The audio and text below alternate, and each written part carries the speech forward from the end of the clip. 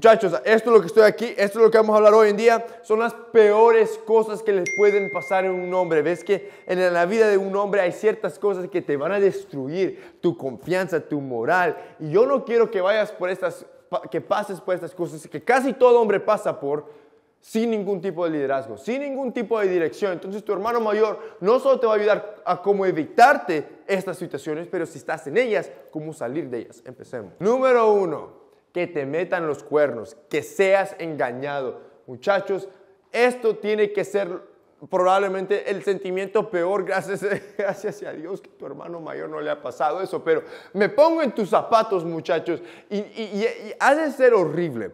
Darle todo, todo tu interés, todo tu cariño, todo tu tiempo a una tipa, solo para darte cuenta que otro tipo se... No, my God es que no sé qué haría. Ah, es que más bien sí te voy a decir lo que haría. Ves que el problema aquí, muchachos, no voy a decir que es tu culpa, obviamente es la culpa de ella por ser de la calle. Pero lo que deberías de saber es que usted puede hacer ciertas cosas para evitar esto. Número uno, Tienes que tener una mentalidad de abundancia. ¿Cuántas veces te he dicho, muchachos, no te enganches en solo una chica? Porque aquí es cuando pierdes vistaje de quién realmente es esa tipa y le cubres todos sus problemas porque piensas, oh, esta tipa es súper perfecta y es la única que yo quiero. Mira, mentira, muchachos. Hay un millón de chicas mejor que ellas. Quiero que tengas una mentalidad de, abundancia, queriendo decir, hable con más tipas, no solo hable con esta, hable con esta, con esta, con esta. Estamos networking, muchachos. ¿Sabes por qué? Porque esta tipa va a tener un chance menos de que te metan los cuernos cuando sepa que no estás tan, enganchado en ella. Cuando mire que tu atención está dividida en 20 diferentes áreas, va ella va a estar peleando por tu atención y no la atención de otro hombre. Esto también te ayuda a usted a que no te duela tanto. Ves que si hayas que esta chica te está metiendo los cuernos, ¿sabes qué vas a hacer? Te vas a cambiar tu dirección y vas a hablar con Emma, vas a ir a hablar con Verónica, Sofía, no te vas a olvidar de Sofía. Ves que esta es la, la belleza de tener un network. Número dos, cuando pierdes el cabello, muchachos, no me preguntes qué le pasa a los hombres, pero eh, esto es algo que solo los hombres lidian con la pérdida del cabello. Parece que las mujeres no pierden cabello, muchachos. Ya cuando tengas ese crater, ese, ese hoyo grande en la parte superior de tu cabeza, que parece UFO, muchachos, eso arruina toda tu confianza y, quedándote con esos cuatro pelillos no está ayudando a nada y más bien solo está sobreenseñando el problema que quieres esconder. Muchachos, ves que esto es ultra importante. Tienes que entender que cómo funciona esto es que si tu papá y tu mamá tienen pérdida de cabello en sus familias, tienes que saber que te va a pasar a vos. Los chances de que te pase están súper altos y esto es algo bueno porque cuando lo agarras temprano Aquí es cuando lo puedes salvar. Cuando usted empieza a notar los primeros signos de que estás perdiendo cabello, aquí es cuando tienes que empezar a usar el medicamento que necesitas, aunque no lo notas todavía, pero cuando lo empiezas hoy, científicamente está comprobado, vas a poder parar y quedarte con más cabello en el futuro de, que los, de, otros hombres que no empiezan temprano. ¿Qué nos llama número tres? Siendo rechazado. ¿Ves que muchachos? Esto, esto sí le ha pasado a tu hermano mayor. Creo que a todo hombre lo han rechazado por lo menos una vez en su vida, porque es imposible. Puede ser todo un William Levy, yo te prometo, va a haber una mujer que no te va a querer, porque todas mujeres tienen diferentes gustos y es imposible ser el gusto de todas mujeres. Esto lo tienes que entender. Y cuando lo empieces a entender, yo sé que las primeras veces que te rechacen, te vas a sentir pero destrozado, vas a pensar, ¿qué me pasa? ¿Por qué soy tan feo? ¿Por qué no me quieren a mí? Está bien, muchachos, pero lo que tienes que entender, muchachos, que no lo tienes que tener personal. Por eso yo, ¿cuántas veces les he dicho? Yo quiero que usted salga y empiece a hablar con tipas al azar, random, que ni conozcas, completamente extrañas, muchachos.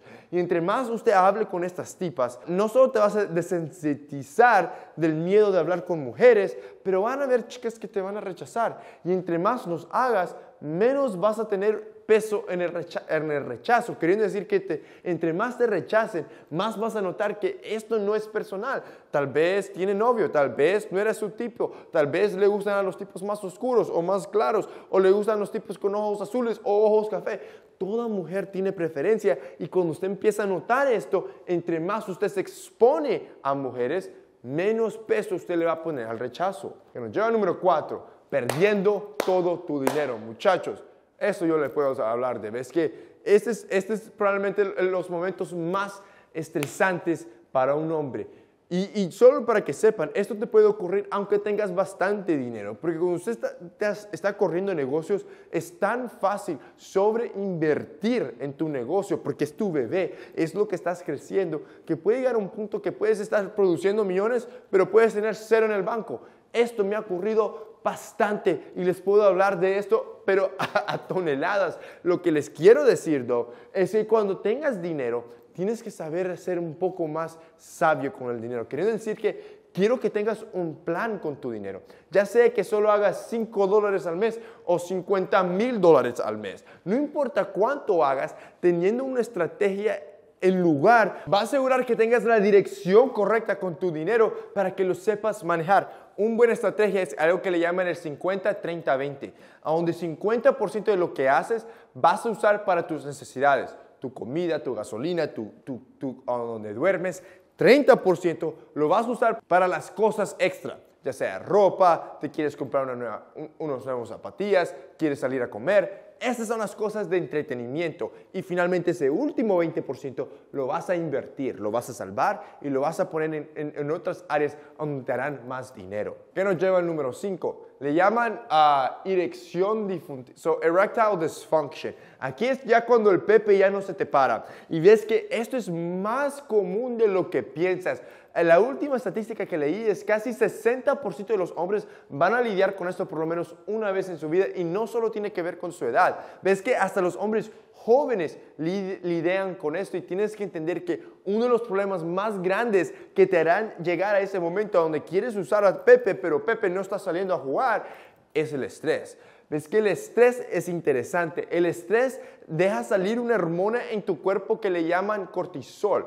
Y lo que ocurre es que el cortisol tiene una relación inversa con la testosterona, queriendo decir que entre más cortisol usted tenga en tu cuerpo, menos testosterona tu cuerpo produce. Y aquí es cuando te afecta tu anhelo sexual. Por esto, muchachos, si usted llega a ese punto, tienes que entender, no eres tú, no es tu culpa, y tienes que ayudar o entender cómo poder lidiar con tu propio estrés. Y eso es todo de mi parte, muchachos. Espero que les haya gustado. Si les gustó, no se olviden de dejarme like ahí abajo y también, muchachos, no se olviden de compartir este video porque no se a crecer. Eso es todo de mi parte. Nos la siguiente.